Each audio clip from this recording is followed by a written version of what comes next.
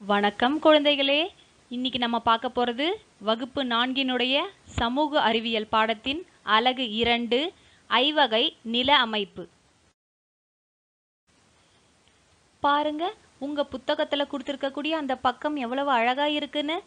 ஐவகை நில அமைப்பு. இதனுடைய இந்த கட்டல் நோக்கம் என்ன அப்படின்னா பண்டைய தமிழகத்தின் பல்வேறுபட்ட நில அமைப்புகளை பற்றி தெரிந்து கொள்ளல் நில வகைப்பாடுகளின் கருப்பொருட்களை அறிதல் பல்வேறு நிலங்களில் வாழ்ந்த மக்களின் வாழ்க்கை முறைகளை புரிந்து கொள்ளல் கேட்டிருக்கு. மூன்று கேள்வி உங்களை கேட்டுட்டு பாடத்துக்குள்ளே போகிறாங்க உன் சொந்த ஊர் எது? உன் சொந்த ஊர் அமைந்துள்ள மாவட்டம் எது? உன் வீட்டை சுற்றி என்ன காண்கிறாய்னு கேட்டிருக்கு. அதே கேள்விகளை தொடர்ந்து அடுத்த ஐந்து கேள்விகள் கேட்டிருக்காங்க பாருங்க. புவியில் மலைக்குன்றுகளை எங்கு காண்கிறோம்? மலைத்தொடர்களில். விலங்குகளுடன் கூடிய அடர்ந்த மரங்களை எங்கு காண்கிறோம்? காடுகளில். நெற்பயிர் எங்கு வளரும்? வயலில். வேளாண்மை நிலத்தில்னு சொல்லலாம். கடற்கரை பகுதிகளை எங்கு காண்கிறோம்? கடல் மற்றும் கடற்கரைக்கு அருகில். பயனற்ற நிலத்தின் பெயர் என்ன? தரிசு நிலம். புவியின் மேற்பரப்பில் நாம் காணும் பல்வேறுபட்ட இடங்களையே நிலத்தோற்றம் என அழைக்கிறோம். பண்டைய தமிழ்நாட்டின் நிலங்கள் அவற்றின் தோற்றங்கள் மற்றும் மக்களின் செயல்பாடுகள் எதன் அடிப்படையில் பிரிக்கப்பட்டிருந்தன என்பதனை நாம் இப்பொழுது பார்க்கலாம். புவியினுடைய மேற்பகு பகுதியில் இருக்கிறத தான் நம்ம நிலத்தோற்றம்னு சொல்கிறோம் நிலப்பகுதின்னு சொல்கிறோம் அதை மக்கள் எப்படி ஐந்தா பிரித்து அந்த காலத்தில் அதுக்கு பெயரிட்டாங்கங்கிறத இந்த பாடத்தில் நம்ம பார்க்க போகிறோம் அதுக்கான காரணங்களையும் பார்க்க போகிறோம் தமிழ்நாட்டின் நிலத்தோற்றமும் இயற்கை அமைப்பும்னு தலைப்பு கீழே கொடுத்துருக்காங்க பாருங்கள் சூரிய குடும்பத்தில் சூரியனிலிருந்து மூன்றாவதாக இருக்கும் கோள் புவி ஆகும். இது உயிர்வளி அப்படின்னு சொல்லக்கூடிய ஆக்சிஜன். அதையும் வாழத் தகுந்த தட்ப வெப்பத்தினை கொண்டுள்ளது. எனவே புவியை நாம் உயிர்கோளம் என்றழைக்கிறோம். புவி அல்லது உயிர்கோளம் என்பது இயற்கையின் ஐந்து அடிப்படை கூறுகளான நிலம் நீர் காற்று நெருப்பு மற்றும் ஆகாயம் அதாவது வானம் ஆகியவற்றால் சூழப்பட்டுள்ளது அப்படின்னு சொல்லியிருக்கு. இதில் நம்ம தெரிஞ்சுக்க வேண்டிய மூணு விஷயம் என்னென்னா புவியை நம்ம உயிர்கோளம்னு சொல்கிறோம் ஏன்னா உயிர்கள் வாழ தகுந்த இடமா இது இருக்குது அதற்கேற்ற வெப்பநிலை அந்த வெப்பம் இதுக்குள்ளே இருக்கிறதுனால நம்மளால் அந்த இடத்துல வாழ முடியுது. அதனால் இதை உயிர்கோளம்னு சொல்கிறாங்க உயிர் வழின்னு சொல்லக்கூடிய உயிர் வாழறதுக்கு தேவையான ஆக்சிஜனும் இங்கே மட்டும்தான் இருக்குது அதை நம்ம புவி பூமின்னு சொல்கிறோன்னு சொல்லியிருக்காங்க. இந்த புவியானது உயிர்கோளம்னு சொல்லக்கூடியது ஐந்து அடிப்படை கூறுகள் இருக்குது அதாவது பஞ்சபூதம்னு சொல்லக்கூடிய நிலம் நீர் நெருப்பு காற்று மற்றும் ஆகாயம்னு சொல்லியிருக்காங்க. பாருங்க அதனுடைய படங்கள் எவ்வளவு அழகா உங்க புத்தகத்துல கொடுக்கப்பட்டிருக்குன்னு. பாருங்க நிலம் இல்லையா? நிலத்தை எத்தனையா பிரிச்சிருக்காங்க? அந்த நிலத்தின் இயற்கை கூறுகளை தான் நம்ம கண்ணால பார்க்குறோம். பாருங்க மலை காடு சமவெளி கடற்கரை பகுதி வறண்ட நிலம் அப்படின்னு சொல்லியிருக்கு. இன்னைக்கு நம்ம பார்க்க போகிறது மலைப்பகுதி மட்டும்தான். எவ்வளவு அழகா ரொம்ப வண்ணமயமாக உங்கள் புத்தகத்தில் கொடுத்துருக்காங்க இல்லையா? மலை காடு சமவெளி கடற்கரை பகுதி வறண்ட நிலம் அப்படின்னு சொல்லியிருக்கு. தமிழ்நாட்டின் நில அமைப்பு. சங்க காலத்தில் தமிழ்நாட்டின் நிலப்பகுதி மக்கள் செய்த தொழிலின் அடிப்படையில் ஐவகை நில அமைப்புகளாக பிரிக்கப்பட்டிருந்தது. ஐவகை நிலங்களுள் நான்கு வகைகள் மட்டும் நிலையாக இருந்தது. அவை குறிஞ்சி முல்லை மருதம் நெய்தல் ஆகும். குறிஞ்சியும் முல்லையும் வறண்ட பின் உருவாகும் நிலமே பாலை ஆகும் அப்படின்னு சொல்லியிருக்கு. ரெண்டே ரெண்டு பாயிண்ட் தான் ஈஸியாக ஞாபகம் வச்சுக்கலாம். பாருங்கள் சங்க காலத்தில் தமிழ்நாட்டினுடைய நிலப்பகுதியை மக்கள் அவங்க செய்த தொழில் அடிப்படையை ஐந்தாக பிரித்தாங்களாம் குறிஞ்சி முல்லை மருதம் நெய்தல் பாலைன்னு ஐந்துன்னு சொன்னோம். அதில் அந்த குறிஞ்சியும் முல்லையும் வறண்டு போச்சுன்னா பாலை நிலமாக மாறிடும் சொல்லியிருக்காங்க. அப்போ என்றுமே மாறாத நான்கு குறிஞ்சி முல்லை மருதம் நெய்தல் மட்டும் சொல்லியிருக்காங்க. பாருங்க இன்னைக்கு நம்ம பார்க்க போகிறது மலைகள். அதை தான் நம்ம குறிஞ்சி நிலம்னு சொல்கிறோம் மலைகள் இருக்கக்கூடிய பகுதிகளில் தான் நம்ம குறிஞ்சி நிலம்னு சொல்கிறோம் மலை என்பது நம்மை சுற்றியுள்ள நிலப்பரப்புகளை விட உயரமான சிகரங்களை கொண்ட ஒரு புவியியல் அமைப்பு ஆகும்.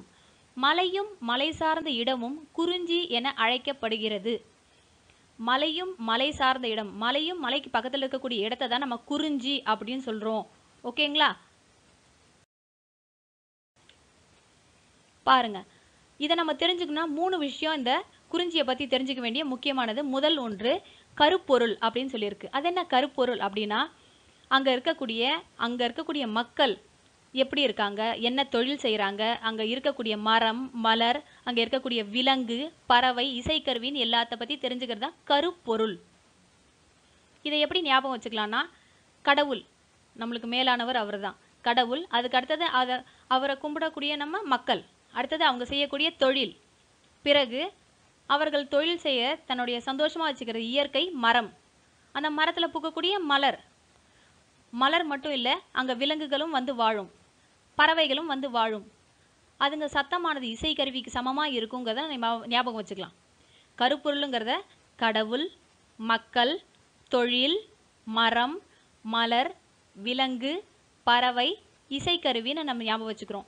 அது மட்டும் இல்லைங்க இந்த நம்ம பிரித்த எல்லாத்தையுமே இப்போ நம்ம பார்க்க போகிறோம் பாருங்கள் கடவுள் இந்த கருப்பொருளாக இந்த பகுதியினுடைய குறிஞ்சியினுடைய கருப்பொருளான கடவுள் யார் அப்படின்னா முருகர்.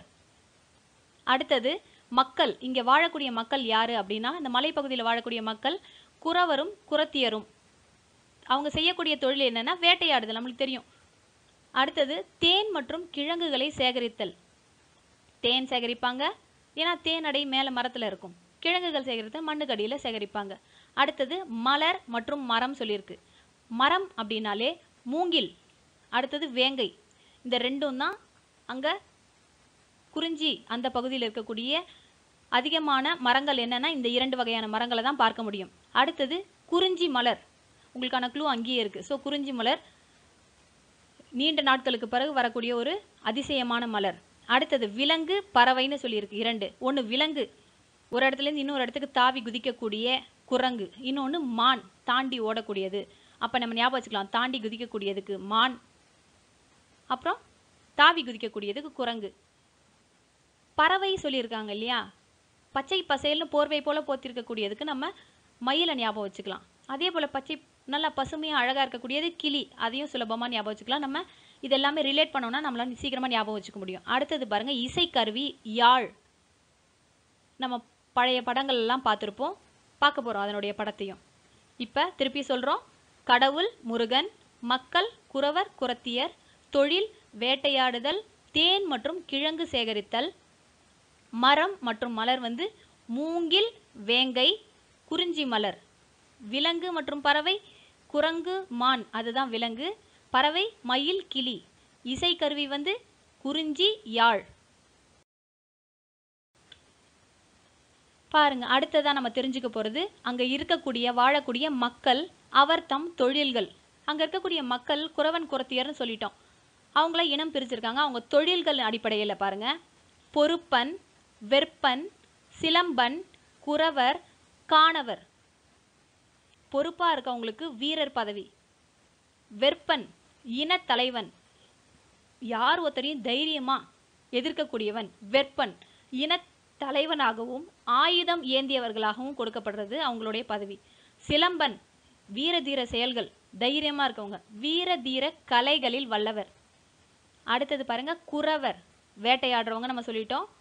உணவு சேகரிப்பர் தேன் மற்றும் கிழங்கு சேகரிப்பவர் சொன்னோம் இல்லையா? அதனால் அவங்களுடைய வேலையாக கொடுக்கப்பட்டது. காணவர் அப்படின்னா காடுகளில் வாழ்பவர் காடுகளில் சுற்றி திழிபவர்னு அர்த்தம். கானகம் அப்படின்னா காடுங்கிற பொருள் இருக்குன்னு உங்களுக்கு தெரியும். பொறுப்பாக இருக்கிறவங்க வெறுப்பாக இருக்கவங்க சிலம்பம் ஆடுறவங்க குறவர் காணவர். நம்ம ஒரு நிமிஷம் இதை கேமரா மாதிரி ஃபோக்கஸ் பண்ணோம்னா நம்மளால் ஈஸியாக ஞாபகம் வச்சுக்க முடியும். பொறுப்பன் வெற்பன் சிலம்பன் குறவர் காணவர். ஓகேங்களா? மூன்றாவது பாருங்கள் குறிஞ்சி நில மண் சொல்லியிருக்கு. கருப்பு மற்றும் சிவப்பு நிறமுடைய பாறைகளையும் கூழாங்கற்களையும் உள்ளடக்கியது ஆகும். இங்கே இருக்கக்கூடிய அந்த மண்ணானது கருப்பாகவும் சிகப்பாகவும் இருக்குமா? பாறைகளும் கூழாங்கற்களும் நிரம்பி இருக்கும்னு சொல்லியிருக்காங்க. கூடுதலான ஒரு செய்தி கொடுத்துருக்காங்க பாருங்க. தமிழ்நாட்டில் உள்ள சில முக்கிய மலைகளுடைய பேர் கொடுத்துருக்காங்க. கொல்லிமலை சேர்வராயன் மலை கல்ராயன் மலை நீலகிரி மலை ஜவ்வாது மலை ஏலகிரி மலைன்னு சொல்லியிருக்கு. உங்களுக்கு கூடுதலான இது விஷயம் தெரிஞ்சுக்கிறீங்க. பாருங்க நம்ம சொன்னோம் இல்லையா குறிஞ்சி மலர்? பாருங்க. பனிரெண்டு ஆண்டுகளுக்கு ஒரு முறை பூக்கும் மலர் குறிஞ்சி ஆகும். இது மேற்கு தொடர்ச்சி மலையில் நான் நன்கு வளர்கிறது. ஜூலை மற்றும் செப்டம்பர் மாதங்களில் இது பூக்கும். ஜூலையிலேருந்து செப்டம்பருக்குள்ள. இம்மலர் மருத்துவ குணம் கொண்டது. பன்னெண்டு வருஷத்துக்கு ஒரு முறை பூக்குது. மேற்கு தொடர்ச்சி மலையில தான் பூக்குது. ஜூலையிலேருந்து செப்டம்பருக்குள்ள தான் இது நல்லா பூக்கும். மருத்துவ குணம் இருக்குன்னு சொல்லியிருக்காங்க. இப்பதான் நம்ம முக்கியமான கருத்துக்கு வரோம் பாருங்க. குறிஞ்சி நிலத்தை இதை ஞாபகம் வச்சுக்கிறது சொல்லியிருந்தோம் இல்லையா? கடவுள் கருப்பொருள்களை. கடவுள் பாருங்க கை. எதுக்கு அந்த வடிவம் கொடுத்துருக்காங்கன்னா வேல். நம்மளுடைய கை கூட குவிச்சு பாருங்க வேல் வடிவம் உடையது அதுக்காக தான் உங்களுக்கு ஞாபகம் வச்சுக்கிறதுக்காக கடவுளுக்கு அந்த இடத்துல வேலுக்கு பதிலாக கை கூப்பி சொல்லியிருக்கிறோம். அடுத்தது மக்கள் குறவன் குரத்தியர் தொழில் வேட்டையாடுதல் கிழங்கு சேகரித்தல் தேன் சேகரித்தல். மலர் இப்போ தான் பார்த்தோம் குறிஞ்சி மலர். அடுத்தது பாருங்கள் மரம் வேங்கை மரம் மூங்கில் மரம். விலங்கு தாவும். மான் ஒன்று குரங்கு ஒன்று பறவை மயில் ஒன்று கிளி ஒன்று இசைக்கருவி பார்த்திங்களா? இந்த மாதிரி பார்த்துருப்போம். வளைந்திருக்கும் கம்பிகள் நீட்டி இருக்கும் இல்லையா? இதுதாங்க அந்த இசைக்கருவி யாழ் குறிஞ்சியில் யாழ். இப்போ பாருங்கள் மதிப்பீட்டு பகுதிக்கு வந்துட்டோம். நம்ம இப்போ இவ்வளோ நேரம் பாடம் பார்த்தோம் இல்லையா? இதுக்கான மதிப்பீட்டு பகுதி ஈஸியாக முடிச்சிடலாங்க. நம்ம சொல்லியிருந்தோம் இல்லையா? தொழில்கள் அடிப்படையில் மக்கள் பிரிக்கப்பட்டிருக்காங்கன்னு அவங்களுடைய பெயர்களில் தான் நீங்கள் கோடிட்ட இடங்களை நிரப்ப போகிறீங்க விடுபட்ட எழுத்துக்களை நிரப்புக. போ அதுக்கப்புறம் டேஷ் கொடுத்துட்டு இப் பா கொடுத்துட்டு கொடுத்துருக்குங்க. அடுத்தது சி ல டேஷ் பா இன்.